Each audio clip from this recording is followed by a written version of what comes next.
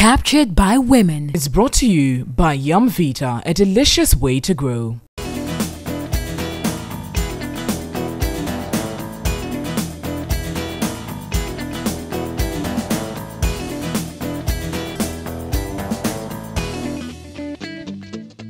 We will never ever run out of issues to discuss because every week there's always something dramatic or scandalous happening on the political scene or in the current affairs domain. This week has been no exception. And today on Captured by Women, we're going to be discussing several very important issues that have been trending. Very importantly, we'll be looking at the issue of Anas and his mode of operation and collecting the data that he does in his very interesting and investigative pieces. There have been conversations around whether or not his modus operandi links into the breach of privacy of the individuals that he investigates. And so we're going to have a legal practitioner as well as the president of GJA in studio to discuss this with us. Of course, we have the very unfortunate incident that happened at the Obingfo Hospital, and of course, we have to talk about it, so we'll be doing just that. But interestingly, we'll also have a very exciting career woman who's had a very interesting journey in her career, and she's built an industry in the fashion industry. And we'll be looking at lifestyle and the issue of cosmetic surgery and how that is affecting women and people generally in Ghana. You don't want to miss this show. The show has been brought to you by kind courtesy of Yumvita, a delicious way to grow. And I'm doing the show today with Nanama, and we'll be right back after this break. Stay tuned.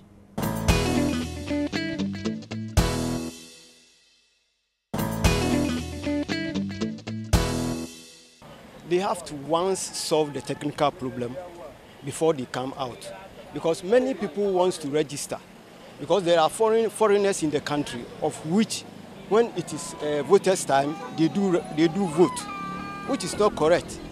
So i feel the identification authorities should verify and know where the technical problem is before they come out. Um, for the identification card that's what majority of people do. Know my somebody like me when i go to the bank hardly do I use my voter's ID card. But for this one, anywhere I go, anytime I do carry it along. So they pushing us here and there. It's very frustrating. It's very bad. It, it baffles me myself. It baffles me because it's been postponed one, two, three times, four times, even up to five. This is the fifth time it has been postponed. So we don't know now. We all, everybody is waiting for it. Yes, if if it, it they will fasten up whatever it is, it's technology problem. So let's. I hope they will solve it as early as possible so that all of us will get it.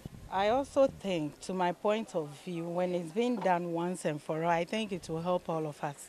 Because going to the bank, you being asked a card, you don't have, it's also another problem. So I think if they do all together, it will help us. But the postponing, going and coming, I think that too wouldn't help. So they should do something about it for us. It will help all of us. It will benefit us. Uh, we want to assure the people that well, if the problems are, they claim is technical, they should deal with it quickly and, and, and return to work. So the anxiety among the generality of the people will be assuaged. Otherwise, then we are beginning to read that it's an agenda that they are seeking to set to torpedo the process and cite other reasons. Well, so we saw your views and heard your views out there. I guess the idea is the same. Everyone wants that card to come to pass, but maybe the government should just take its time to make sure it's rolled out properly. Nana, the, the whole conversation about the Ghana card, I think, is a very big one right. with a lot of issues. Right. The delay is mm -hmm. one, and I'm beginning to think. I remember we did a registration some years ago. I went and I queued and I did everything, and I was giving a slip, and mm -hmm. that mm-hmm. has accounted for nothing. But then the, the fact that every time we, we hear that there's a new date, we are all excited about exactly. it. It's wrong. Mm. Plain and simple. We can't be communicating to the public that we're going to do something of public interest right. and then we keep coming back with, mm -hmm. with issues. And right. for me, the, the most worrying part is we haven't really been told what, what? the challenge is. Well, they don't. Is it? Is they either they pinpoint. don't know, they can't pinpoint mm -hmm. it. Like, what truth. exactly is the issue? Mm. They're fixing the issue, but they don't know what they're fixing. Yeah. I mean, and this is taxpayers' money. Mm -hmm. For every day we miss with a deadline or something like that, it's money that we're losing. Yeah. So, what is the issue? Mm. There's some allusions to the fact that maybe there's something with the, the previous contract or something right. that, that the current regime is, is trying to fix, but mm. they haven't told us. we should be clear about it. Then there's also for me the big issue of the costs. I mean, do we have 1.6 billion CD dollars actually? I was about do to say, did you just say cedis? no, no, no, no. And, and I'm thinking if That we're talking about huge. old Ghana cedis, Then it's okay. then we would have said in Chi, or pim, pim, Oh, pay, pay, pay, pay, pay. It's outrageous. Do- can and we the point really is, you don't know what you're using it for. When you don't even know the problem, how do you fix it in the first place? And I, for one, then it comes to the question: Do you think this government is just rushing things? That idea of wanting to, you know, Fulfill all fulfill campaign all the promises, promises. yes. But Petra, you see, at the end of the day, it's not just about a, a party you know, playing politics with us because it's the taxpayers' money. It comes back to bite us in the backside. You take all this money, you throw it down the drain, literally, because for us as we sit here, we don't know what the problem is. We're fixing something. And my problem is when the vice president and the president got their cards, does it even fa- is it functional? No, is those it are- those were actually temporary cards. I think they're just Exactly, models to see, 'cause they're and supposed to do for them, ones, they yeah. even the big man of the land has a temporary one, which now for the regular people we're having a limbo. Was it a waste? Was it just a show? Let's get real with these things. I, for one, I'm not looking at the speed or the rapidity with which NPP fulfills the promises. But so far as at the end of your four years, you're able to do substantive things where Things, we all yes. hold on to it and say, indeed, in their year they were able to do the national identification card and it works for us. It's able to access this, this, this, this. That in- alone is enough. I don't care why you do it in the last month just before your part. Exactly, But at the exactly, of it, because- you would have gone yes. through the right processes, mm-hmm. got everything right, and I can trust you. But when every day you're giving me different piece of information, there's an mm. issue. And it seems we, we tend to think in terms of four year, four or eight year cycles. And so we're measuring ourselves by what we did in the second year, what we did in the third year, what we did in the fourth year. Did Really, we no fulfill one all? cares when it comes to the voter. Exactly. But the, the challenge with that is mm. we're, sh- we're very short term in how we're mm. planning. And we have to have long term plans. And so, this whole firefighting approach to solving problems, Hmm. we find a very quick way to solving it and it's not sustainable. It really is just going to hurt us in the next 10, 20 Hmm. years. Because there was a conversation on social media last week where a friend of mine asked a simple question that Does anybody know what our plans are for healthcare, for education, for security? in terms of 20 year plans. No. And the consensus everywhere was like, no, there are four year plans, Mm-hmm. There are eight year plans that we read in party manifestos, but really, what is the sustainable plan? And identification is so basic, but it has become like a very big issue for us. How many of how many cards do we carry about? So you So have a- you you have so many cards, and this is supposed to be like a solution, Mm-hmm. But we we really we're, we're not even sure where we mm-hmm. are with it. And even as this card was coming about, someone was asking, can we just synchronize all the information mm. before? Because every time we're saying, we have oh, to go when the another national identification again? card comes, it will be like that. But before then, right now, it's in limbo. Can't we start other processes to take all this information? Because Petra, the annoying thing is filling the forms. You fill forms over and over again, but still they ask you on everyday basis The same Can I have your information?" And I'm thinking it's papers. You're going to throw it away. Why can't we just go technological, put everything, input the data, make sure it stays there? I don't know how it gets off the system, but let it stay there. Let everyone have access to it and let it be centralized for everybody. Well, I guess NPPs, one of the things they want Anyway. to achieve is the issue of being paperless. So let's hmm. hope that this, even though there, there are issues with it, it would sort out itself We since it so. seems that no one really knows what the problem is and we'll get it fixed. We'll take a break. We'll be back with more here on Captured by Women.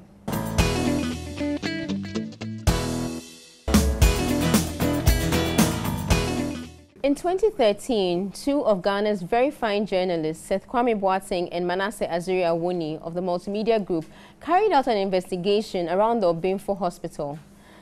And that investigation led to some action by the Ghana Medical Council to close down the hospital. Unfortunately, five years down the line, we've had reports of a very unfortunate incident in which a very young lady has lost her life. And the allegation is that this was by malpractices at the Obinfo Hospital. Today, we're going to be looking at the law and especially what the Medical Council can do to prevent such a recurrence in the future. Joining us to discuss this, we have Mr. Foley, who is the head of the Public Law Department of GIMPA Law School. And also we have Dr. Eli Atikpui, who is the registrar of the Ghana Medical and Dental Council. Thank you very much for joining us in studio today. So I've already began um, the conversation around the incident of the Obingfo Hospital. Generally, maybe I should start from the, the, the council side of things. the law. the law side of it. I think I'll start from the council side of it because we know the hospital was closed down and then it was opened. And then the law side of it would then be that was there a lacuna in the law that allowed that this should happen five years down the line? Yeah, you see, um, why was the institution closed down? The institution was closed down because of issues that we that had come, that we had received reports that, irrespective of the fact that the individual had not renewed his registration with the council, he continued to practice. We're really not going to talk about the earlier issues at, uh, for which his registration was uh, suspended or he was suspended for three years. But the issue that led to the closure was that we were receiving reports. The individual had not renewed his registration with the council and he continued to practice. So on two occasions, the institution was closed down. But as to the circumstances that led to the reopening to, of that particular institution, I think I want to be silent on that for now because uh, the council is coming out with uh, detailed information on the activities that went on uh, sometime either Monday or Wednesday. Right. Yeah. But Dr. Tipu, let me come in and also ask because people's confusion is the fact that he is a doctor. And yeah. so for them, why is there so much noise about the fact that someone has died in his hospital? well, if it was closed down, he reopened, people were going, then someone has died. Deaths happen in all hospitals. So why is this particular one a big issue? Yeah, you see, uh, you're looking at the fact that, look, you are a doctor. Mm. You've qualified as a doctor. Mm. You trained and qualified as a doctor. But the law requires that each year mm. you renew your registration. Mm. Now, if you had not renewed your registration and you continue to practice, then you are doing that illegally. Mm. And the law really has prescribed certain punishment for you know things like that. Okay. And the fact that that institution is known to the Medical and Dental Council because that wasn't the first time. Mm. You know, there had been issues since 2003. Is he a surgeon? Is he allowed to do the particular role he's playing? He's playing yeah. Well, he is not a surgeon. Okay. He is a general practitioner. Right. Yep. Mm. In his case, he said he did a program for two weeks mm. in Florida. And uh, we thought that was also uh, not right. Mm. And these were some of the issues for which the institution, uh, we decided to seek the closure of that particular institution. Whose role is it? Medical and Dental Council, as a regulatory body, has a role for the doctor. So he's not fit to practice, and so they, you know, mention it. At what point, if he reopens, is it their role, the police's role, the law's role? Whose role is that place? Right. So we would have to look at, um, you could say, some collaboration between agencies. Okay. Now, I, I heard Dr. Tipu earlier on in the in the week, mm. you know, and giving us some background, which also helps us as lawyers to analyze the issue. Right. He had a complaint. Mm. Um, he had an issue. He was brought before the council, right? He was not happy with the council's decision. He appealed, which had a certain legal effect, right? Stayed the council's decision. Yep. But he also went into another territory. License expires. Mm. And for us in the professions, um, engineers, doctors, lawyers, whoever, you see, the renewal of license, and again, let's go back to the philosophy behind it. Mm. Exactly. It's not just a question of come every year and your paper mm. is signed. Mm. Exactly. You need to establish and prove that you have grown. Exactly. And that you are fit to continue practice. Right. And so there is there is a process. For the lawyers I know now, there's talk of um, even seeing how many pro bono cases you've done. So the moment you go into the non-registration, you've slipped, quote unquote, back into some illegality right. if you work. Mm. Ordinarily, let's be frank, the police may not have that on their scheme of things right. to check who is operating illegally. But I believe, um, I think you mentioned it, that some complaint had been made. You had drawn the attention of the law enforcement agencies. From there, I think the council has done its part. Then it's up to the law enforcement agency mm. to take over, okay. you see. And perhaps that may not have been hmm. done. But is that the case? Is that what we see in Ghana? Because Obinfu's case will not be the only one. Exactly. There are many where we've, you know, people have complained and it's been yes. closed down and they find some dubious ways of opening. So on the law side, who the police has to keep you know, exactly. that work in check where exactly. the person is closed for as many years as is demanded. So when right. you say they don't have, you know, the information, isn't there, you know, that open space for people to act dubiously? Yes, I believe they have the information. Hmm. And in the good scheme of things, hmm. look, any death that occurs in a hospital under 24 hours or in a home, hmm. you know why we have that coroner's inquest? Right. It's to check hmm. whether the death has occurred as a result of some illegality right. or it's a natural death. Exactly. So you see, there even the the issue leaves the jurisdiction of the hospital mm. more into the law enforcement and justice system. The coroner's inquest is done by a judge, mm -hmm. technically, mm -hmm. you know, and perhaps sadly in Ghana, maybe we all go through the process of just filling that inquest. -hmm. But there must be, it's an inquest. There must be certain questions asked. Mm. And I know a bit of the medical protocol, even when a death occurs, they have certain checks they go through. I once spied something in the surgical block in Korle Bu. They have a checklist yeah, to come to the conclusion that yes. you see that a death has occurred. Yeah. And I think it's also important the law enforcement agencies follow up on these mm -hmm. when they get the information. Mm -hmm. Because when you have to satisfy yourself, as in this case, mm. that a crime has been committed, you need that vital first few minutes or first few days information exactly. Exactly. occurring as a result, mm. you know. Okay.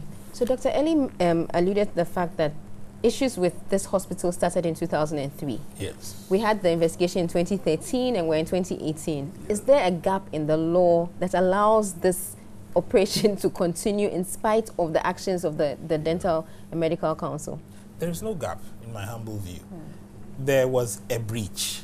What is missing is action the issue here is that the law enforcement agencies are not enforcing the law that makes the operation of a medical facility without license a criminality. Well, not, okay, so let's look at it this way. Mm. Not necessarily gaps, but perhaps education. Exactly. And I, will again go to collaboration. Now, you mentioned mm. crime. I'm not too sure whether the act there makes it a crime. What you call a crime that will bring in the police mm -hmm is another matter. Mm. But yeah. as to it being some infraction or some violation of the law, yes, definitely, you know. If the person's name is struck off, I believe sometimes there's publication. Right. There is. And that publication serves as notice to everyone. Exactly. Again, yes, let's go back to the members of the public ourselves. Mm. Once that publication is gone out, then we need not engage. But Dr. Foley, we know that publications go into like the backside of the newspaper is very small print. Is there a way that the public would know? Unfortunately, not everyone reads. Read. Not all Agreed. Not everyone. Yes, not everyone reads. Mm. They are. They are. It's it's in circles. The the problem goes wider right. and wider, right? But even in the immediate mm. scenario. Um, hospitals have premises mm -hmm. and all of these things. There's exactly. a police station close by where all these things occur yes, you would expect a certain proactivity. I know my police friends would say we only act on the basis of a complaint. Mm. Yeah. So maybe you want the council to come and make a complaint, and I believe they do. We had yes, we had they, really done that in this particular case. Yes. You see, that is why I'm saying that sometime next week, either Monday or Wednesday, yes. we really coming out with the full details right. of what had happened over the period, right. so that the Ghanaian public would know, know. Where the issues were. Okay, has there been a, been a precedent in the law on a case like this, and how did it end? Well, not. Um, I'm not aware of it. Yeah, there had been a case, uh, Atta Okay. Yes. Um, you know, he was also suspended over a period, and then he filed an appeal. Mm. Yeah, and that for a period, you know, there was an automatic stay until the appeal was determined mm. or was heard. Yeah. Anyway, it's been an interesting discussion, but time will not allow us to go more into it. But we have been speaking to Dr. Eli Atikpui. He's the registrar at the Medical and Dental Council of Ghana, and also Mr. Edmund Foley. He is a lawyer and the head of public law at GIMPA. We'll take a break. We'll be back with more here on your favorite Saturday show, Captured by Women.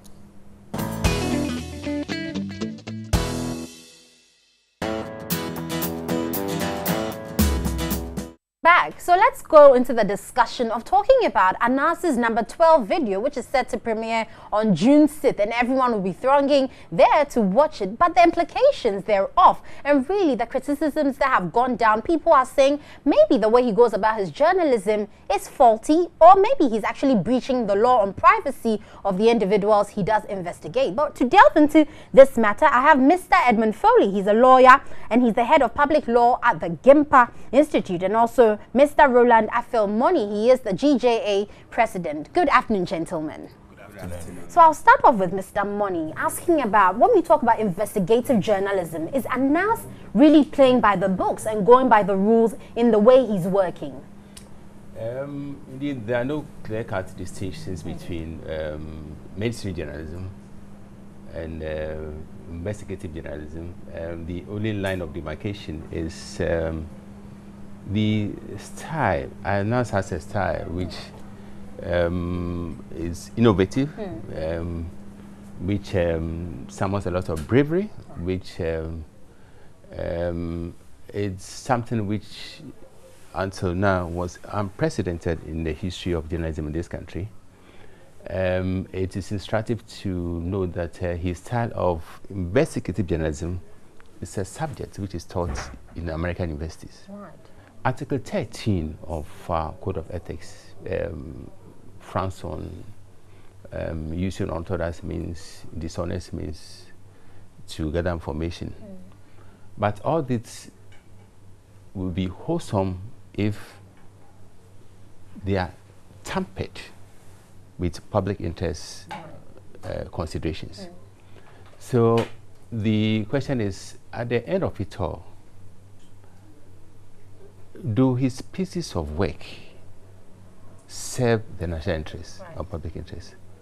If the answer is yes, then then all applause for Anas. Mm. And the answer is, is an emphatic yes. Mr. Monney, let me mm. not catch you, but let me invite Mr. Foley to get in because you mentioned something very instructive that if his works are impactful, then I mean, let's let matters rest. But people are worried about the means in which he gets that impact across.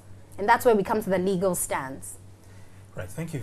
Mm. So, from a legal standpoint, um, the kinds of investigations he conducts mm. are into matters which um, offend our criminal laws. Mm -hmm. You're looking at corruption. He's investigated um, cases of abuse. Mm -hmm. um, we saw children being abused. So these are acts of criminality. Now, you would ordinarily have expected the law enforcement agencies to do what he does. Mm. They have been given the um, powers of investigation to do that.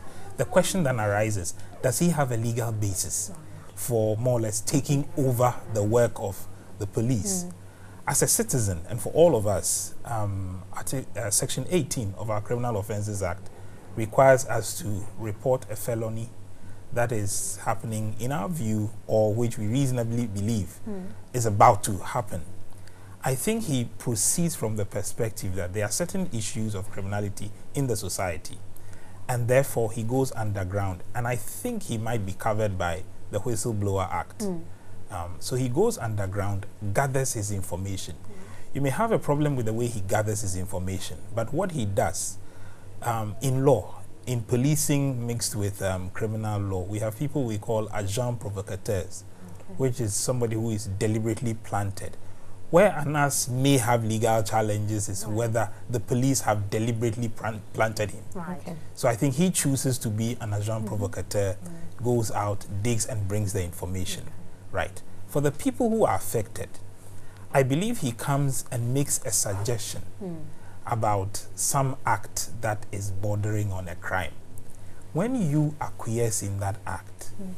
it's a bit difficult. It doesn't lie in your mouth to say that, oh, I didn't know I was being trapped. Mm. If the suggestion being made to you, you ought to make an independent determination yourself hmm. to say that, well, I think um, suggesting that I part with money for some illegal mm. purpose is not right. And I think he's been proved right when some of the people he's tried to trap mm -hmm. did not yield. yield. Okay. Right. So um, you, I think um, Mr. Monney made mention of the fact that the issue of he's doing it for the impact on society or yes. for the greater good. On the side of the law, what's the the opportunity in that because one of the conversations that has gone on a lot in the public domain is like he's like Mr. Monney said what he's doing is impactful on society. He's helping us expose something very important, a, a canker in our community. Yes. Does that cover him? Right. So just before we got into the studio, I was sharing some thoughts with Mr. Monney that we need to look beyond the letter of the law to its spirit. Mm. And I think he's trying to bring out some aspect of that spirit of okay. the law. So for those who may argue against him, mm. you hmm. can do so from, for us lawyers, we call it a very positivist stand. What is written mm -hmm. in the mm-hmm. law? So what is posited or what is written might make some of his methods unorthodox. Okay. When you look at it from the impact point of view, you're connecting law with development. Mm. So this is a gentleman whose work is trying to get us to change our ways. And to that extent, we would have to engage with that function or role of the law. The late right. Professor Modibo Ocran mm -hmm. wrote extensively on this, how the law should help us move, not just become a barometer for measuring -hmm. our behavior or activities, mm. but it should lead to change. Right. Okay. Mr. Foley, let me ask, I mean, for those who are investigated or yes. who threaten to sue Anas and all these, do they really have a case? If we're saying overall, because his pieces bring impact, he's allowed to go scot-free, do they then have a case to go to court? Especially when you think about the law of entrapment. Yeah. Is yes. he compelling them mm -hmm. to do mm-hmm. what he knows is wrong, but Just trying to, to find evidence? Mm -hmm. In my humble legal opinion. Very humble watched, at that. Yes. having watched some of his pieces, and I think he, he has a legal background himself. Yes. Mm -hmm. If you observe the nature of his entrapment, he always more or less offers the person both an opportunity to fall as well as an exit. Mm. Mm. Yes. Okay.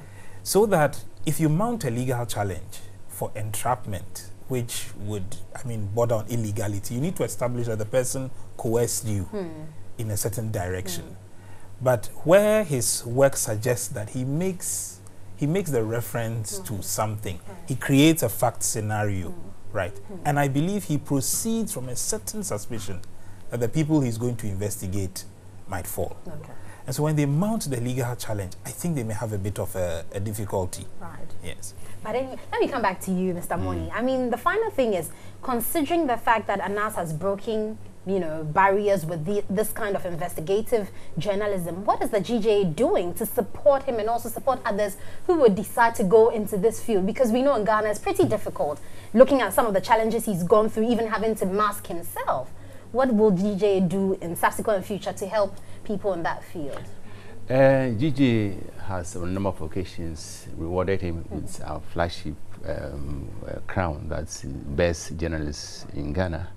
I believe that also catapulted him from um, um, national um, pedigree to the international one. So um, the number of rewards we had we have given him have all vindicated what is done uh, over the years, national internationally um, saw achievements, litany of them, and have all vindicated the rectitude of his um, uh, selection mm. as the best in the country. You know, the NAGJ was at the pinnacle of professional awards. Mm. I know a number of people who have won DJ awards, and that's uh, and, and that have catapulted them from from ordinary levels to uh, managerial positions. Mm. I know a couple of them. Mm. And in the case of Anas, um, we, again, we did it to um, um, Dumont, mm -hmm. who became the biggest, uh, one of the biggest international brands. Again, uh, were, were subjected to all mm. kinds of uh, bashing. Again, were vindicated. So Anas, yes, we will support Anas 24-7. Um, I had a conversation with him yesterday, mm. and I did assure him that you can count on our support, our uh, rock solid mm. support in this instance, and, and, other instances which may emerge from the controversy. Mm. So Anas is one of us. Uh, we are proud of him that uh, he's, as I said, and the best repeating, mm. he's one of the purest, if not the purest gems Ghana has ever produced. Very well. And on that mm. note, we have been talking about the criticisms of Anas's number 12 video. And I guess the roundtable discussion is the fact that his pieces don't contradict the law per se. And he also doesn't contravene any law surrounding the journalistic code of ethics. So I guess we're all there saying kudos to him. June 6th, we will all be at the screening or the premiering of this video to watch what comes out. But anyone who has done anything, maybe it's time for you to come out and confess right before the time. we'll take a a break. We'll be back with more here on Captured.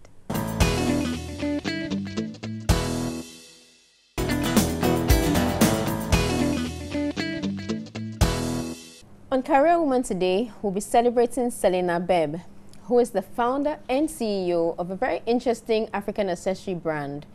She's had an interesting journey and she started off really not having any experience or knowledge of her industry and what she does, but she's grown her business. You don't want to miss this part of the show, and I'm sure you'll pick a tip or two from here. Please stay with us. Hello and welcome to Selena Beb. I am Selena Beb Akumensa, a fashion accessories designer and a fashion entrepreneur as well. Here at Selena Beb, we produce and sell African inspired accessories from handbags to footwear to jewelry to tab cases. We've got you covered. It's your one stop shop for all your African inspired accessories. All right, so Selena, you told us about yourself, but I think you left out some part of it. Um, the fact that you're a trained journalist. Yes, I am. I'm a broadcast journalist, mm. and uh, at the moment I'm freelance. I'm not working with any particular media house, but you know I'm open for work. mm. yeah. Yes. So that brings me to my next question of how uh, you transformed from, from being, being a journalist to a fashion accessories designer and coaching and all that. At what point did you do that switch? All right, so um, I actually didn't start just from journalism. I actually set out to be a lawyer. I actually studied a lawyer. Law. Yes, I studied law in the UK. So I was an aspiring lawyer, but I abandoned that because that wasn't really what I wanted to do. So um, after my undergrad, I decided that media was what I wanted to do, you know, broadcast journalism in particular, because I love talking. So I moved back in 2008 and I was trained by GBC and I worked for GBC Radio Unique FM for three to four years. Then I moved to Radio XYZ in 2012. So it was when I was working at Radio XYZ in 2012 that I started designing to start my own fashion brand. Um, and it started this way. I've always loved fashion, especially accessories. You know, I love bags. I don't know why, I just love bags because I feel no matter size what no matter what size you are, you can use whatever bag you want. It's not like clothes that, mm -hmm. yes, if you're a certain yeah. size, you might not fit into a certain um, design or a, a particular type size. of dress. But with bags, whether you're slim, big, medium, any bag at all, you can use and you can rock them. So I love bags in particular. And I loved particularly the African print bags, the made in Ghana ones, because I was fascinated by it. I, I'm like, how can you make bag in Ghana? Because when we were young, we knew that all bags came from abroad, you know. So I loved African print bags because it was different from what I was used to seeing abroad, you know. And so I started buying them, using them, and there was a lot of interest. People loved them. Uh, my family and friends would want to store them for me or ask me to buy some for them. So I realized that the market was there. And being a handbag lover, and also I had a secret dream of mine that one day I'll have my own handbag brand. So I thought, okay, why don't I start? Because back then when I was thinking I would want to do handbags, I was thinking pure leather bags because I love pure leather bags. I just love the smell of the leather and the good quality bags, you know. But when I saw that ah, the African print bags are involved, people like them, I thought, okay, let me try. I could fuse the leather with the print, you know. And so that is when the design came about and I started dreaming about it and I dreamed so much about it and then it became a reality. I just thought, let me try. Let me try my hands at it. Yeah. So, so many people find themselves in different types of jobs or mm. careers and some some of them are not really enjoying it they have some desire or passion within them that they wish to pursue but so many issues social family economic and all that how was it like for you transitioning from uh, being the lawyer abandoning that dream coming back to communication and journalism and then now uh, fashion so the transition was very challenging you know um, because first of all i set out to be a lawyer i was an aspiring lawyer and then I abandoned that. I went into communication. I was doing well on radio. So nobody understood why I wanted to now go into fashion, but the fashion industry was calling. And I felt like that was what I was truly meant to do, you know. So I wanted to try my hands at it. And nobody really believed in me. You know, it was just my sister and a few of my cousins that encouraged me. Like, why don't you try it? You know, try it and see how it goes. After all, if you don't succeed, you can go back to, you know, working on radio. So when I started, I was still working on radio and doing this alongside. And I had no idea what I was doing. In hindsight, I look back and I'm like, I had some nerve, you know, the audacity to actually go into something I had no clue about. I just had a natural flair for fashion and I had good taste in picking up bags and accessories, but I had no training in fashion. I didn't know how to sew a bag. I didn't know how to cut buttons. You know, along the way, I've learned it now. But in the beginning, I didn't. I just had a natural creativity and talent for it. So I had ideas. I had the kind. I had an ideas of what I wanted to. Um, how I wanted my bag to look like or how I wanted my products to look like. So I had to find a team of workers who put it together for me and it was hard. Working with Ghanaian artisans is not easy, you know, but um, I, I, I managed to overcome those challenges. Some of them are still challenges, mm. but day by day it gets better. Mm. Doesn't it gets better. everything is done here in Ghana? Everything is done here in Ghana, yes. Um, the raw materials, some of them I buy from outside Ghana, but the African prints, obviously, I get them from Ghana. But the hardware, like the zips, um, the labels, the locks, and accessories for the bags.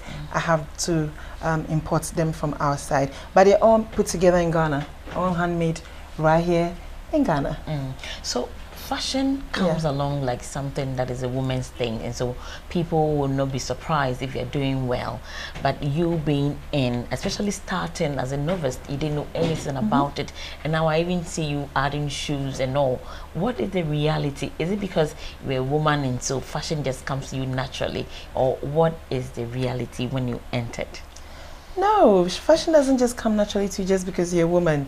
I mean, what do you think? Is it every woman that dresses well? No, no not everyone looks put together. You know, some of us um, know how to put things together better than others. Some of us have better taste when it comes to fashion accessories and fashion clothing than others.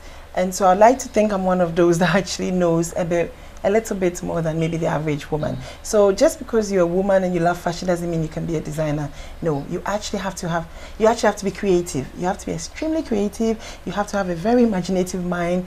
Imagine what kind of designs you think people will like. Because I am inspired mostly by the everyday woman, my customers you know, as the interview was going on, you saw this lovely lady that walks in. I would look at such a woman and I think, what would this woman want to hold? So I make sure I design something for everybody because my customers, my target market is actually women aged from 25 to 85 mm. which practically means all women. So I make sure I have something for someone, a 25 year old, a 35 year old, a 45 year old, and it goes on and on. I make sure that when someone walks into my shop, they'll find something for them. So you actually have to have the flair for it. It's not just because you're fashionable so you can become a, a designer. No, it's not that easy. Mm. Trust me. so in the face of these challenges, how impactful has it been? Are you fulfilled? Do you feel happy doing this or you, it's like, well, I don't have a choice. I entered and so I should be in. What is the situation like for you? Oh, the situation right now, like I said, some of the challenges are still there, but we try to overcome them. But I am so, so fulfilled. I'm so happy doing this work. You have no idea.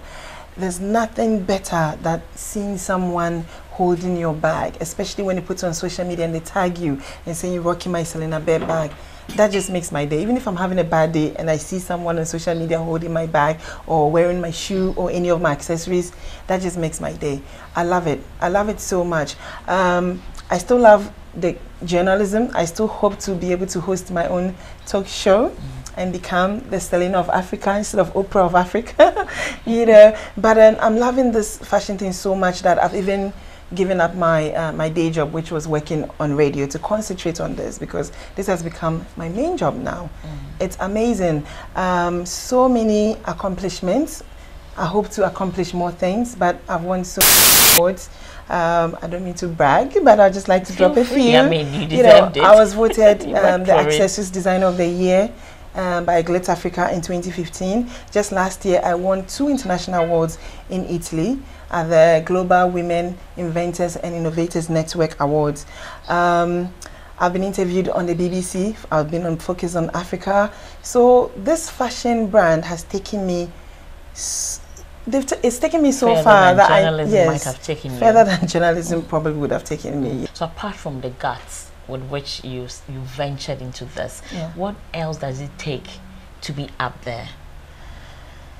Determination, perseverance hard work, and you should have the natural talent and creativity for fashion. So how has your gender, as in being a woman, also influenced in your success in the industry?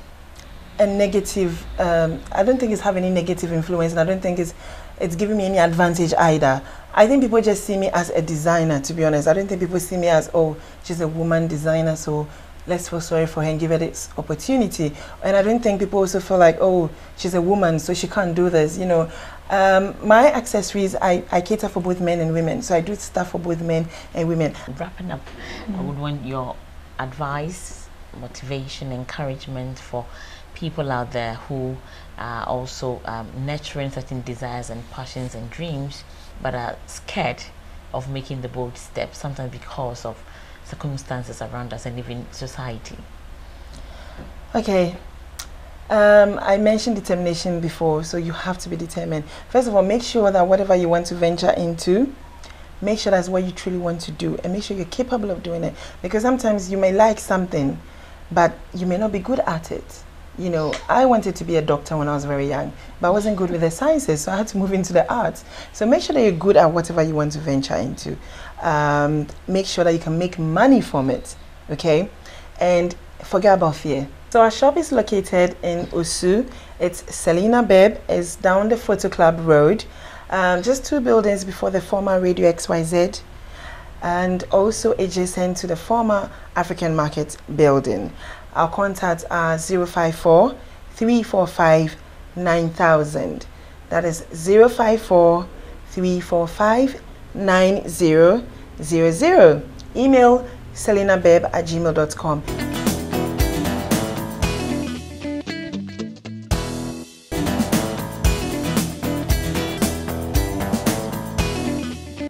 Lifestyle today, we're in, talking about cosmetic surgery. Well, now everyone seems to want to change a part of themselves or probably almost all of themselves. And that's very worrying because we believe that God created in a certain way and maybe that's the best way he saw us and left us in that image. Besides, the Bible says he created us in his own image. No, I wouldn't like to change anything about myself. I'm happy. I thank God the way He created me with my boobs, everything. I appreciate it. So I don't see the reason why most women or some women will go in for that artificial surgery or something of that sort. For me personally, I don't see the need to. I mean, if you feel you're, you're growing fat in any part of your body, the best thing for you to do is to exercise. And one thing I've also realized is you need to believe in yourself. Somebody will be a size 8 figure, the person feels good. Somebody will be a size 14 and the person also feels good. It's about how you carry yourself. And besides, if you're going in for this, you just look at the side effects. As a human being, you need to stick to yourself and believe in yourself. If you don't believe in yourself, that will attract you to go for that kind of surgery. But if you believe in yourself and you stick yourself and you check your diet, I think it works for you. So mine is not good. Why anybody would want to change her breast or face or any part of the body to please. I don't know who you want to please. Maybe a man. Die and see. That man will go for another woman. Even while you are being buried, a girlfriend might be calling him on the phone. So why would you want to change your body to please a man? And who do you want to please? I don't understand.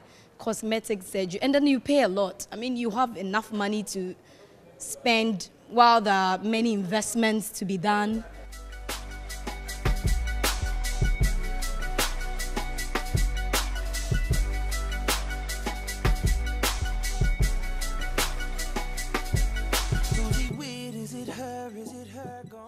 Okay, so we're here at the plastic surgery unit at the Korle Teaching Hospital, and I have with me Dr. Levi Ankrah, who is a senior resident here to help us really understand all that there is to know when it comes to cosmetic surgery. So, Doctor, good afternoon, and thanks for having us. Good afternoon. Yes, so we are we want to know more or learn, educate us on cosmetic surgery.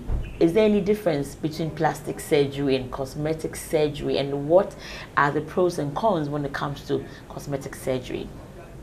Okay, so um, I think there's a bit of confusion, even in medical circles, as to what plastic surgery is.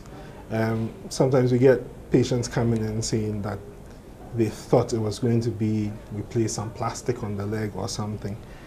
Um, the word plastic means to mold. It's a Greek word, mm. um, which means to mold. And that's basically, in a broad sense, what plastic surgeons do. They find ways of molding the body to fit either form or function. Um, and in a broad sense, there are two divisions of plastic surgery. So there's reconstructive, where we try and restore form. Say, for example, you've had a, an accident in which um, part of your nose was taken off or part of your ear was taken off. That's where we try and remold or recreate a nose from your own body tissue or recreate the ear from the body tissue. So at what point would a surgeon recommend any type of uh, these surgeries to a client for, for whatever reason? It's difficult to actually say I recommend something um, because ultimately it's the patient's body and the patient's choice. So if you feel you have a problem or there's something that you don't like, the best we can do is to give you the various options on how it can be solved or enhanced. And then you make the final decision yourself. So it's difficult to say, I think you should get this and I think you should get that. Um, it's but for instance, if I have a breast cancer, God Yes. forbid, and I maybe one of my breasts has to be taken off, Mhm. I would need and I need a replacement or I need some form of breast. Wouldn't you recommend that I get such an such a, a surgery done? I can give you the various options because you see, even when it comes to that, there are different options of what to do. I can suggest the different options because you probably have heard of breast implants. But there are instances where we can take your own tissue and use it to create a breast. So I present the options. I can tell you which one would be best for you. But there's even the option of not reconstructing the breast in itself. So I cannot say do this and do that, and I think you should get this. I can tell you that this might be the best option in your case. Why is cosmetic surgery surrounded with so much misconceptions and fears, and people think it is risky, it is dangerous, it could lead to death, and so on and so forth? Is it really risky as, as we think? No surgery is without risk. Um, but if you are doing surgery in a place or with a person who is not qualified to do it, then that's when your risk is higher. There are thousands or millions of plastic surgery procedures that take place every year all around the world, in different parts of the world. Um, in the US and the UK, you find lots of procedures done, and even in places like Brazil, you do. Um, I think sometimes the problem comes from either the person who is getting the surgery, that's the patient, not not actually needing that procedure or being at higher risk of complications from any form of a procedure, and then also from a risky and let me say dodgy surgeon who decides to go ahead and do the procedure probably purely for his monet- monetary gains when this patient shouldn't get the surgery. All right, so as I understand you, like every surgery is risky, but when it comes to cosmetic surgery, who uh, would be at risk of anything at any point? Which particular person or client, or based on what conditions can one be considered to be at risk? Um, some people have a psychological problem. I think my nose is too big, but really your nose is not a problem. You just have some self-consciousness. That could be sorted out by psychology, not necessarily by surgery. And these are things that need to be assessed.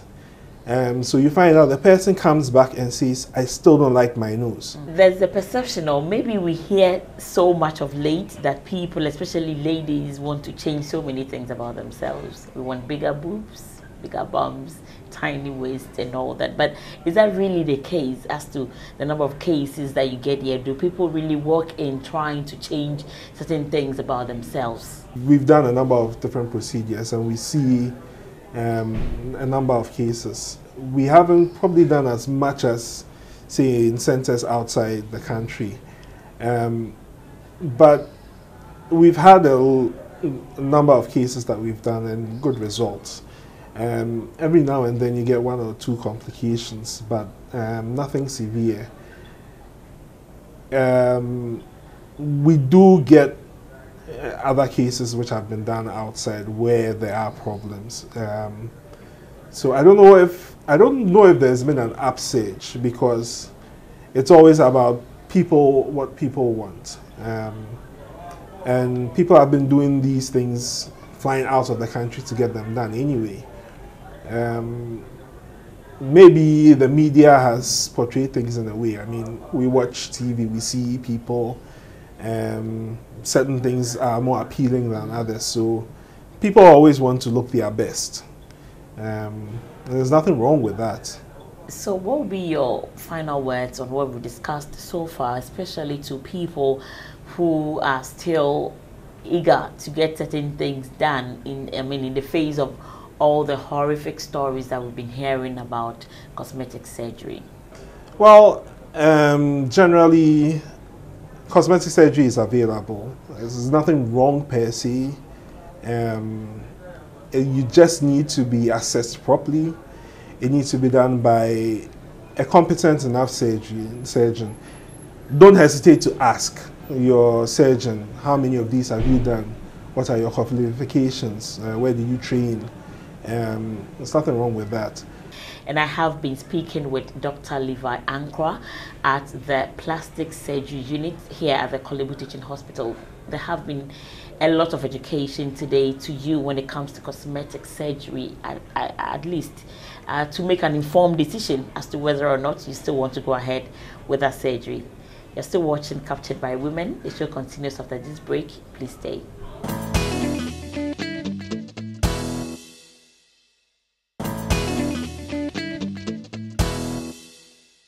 Well, well, well, all too soon we have to bring the show to a close. We have been discussing very interesting topics right from the top. We talked about the national identification cards and the fact that there's been a halt in the process, but we hope in some times to come it will be rolled out. Then we also had an interesting discussion concerning the Obengfo issue and the matters arising and what the law says and what the Medical and Dental Council had been doing about it prior to this unfortunate incident. Then we also touched on Anas's video, the number 12, which will be premiering on on June 6th. Of course, everyone will be thronging to see what is going on, and I'm sure if you are part of it. And then we also spoke about a CEO who's doing very well in the fashion industry in the person of Selena and she has her industry named Selena Beb. They're doing so well. I'm sure you pass by her shop to get a thing for yourself or a friend or a loved one. And then finally, finally, we wrapped up with cosmetic surgeries. Do we really need it? What are the pros and the cons? You heard from the expert there. And indeed, I hope everyone believes in themselves. Know that you, as your maid, is the best person you can have. Trust yourself, be happy, and go out there and live life. But we have been sponsored by Yumvita, a delicious way to grow, and has been myself and of course Petra. And we're saying goodbye for now. We'll see you same time next week. Have a blessed weekend.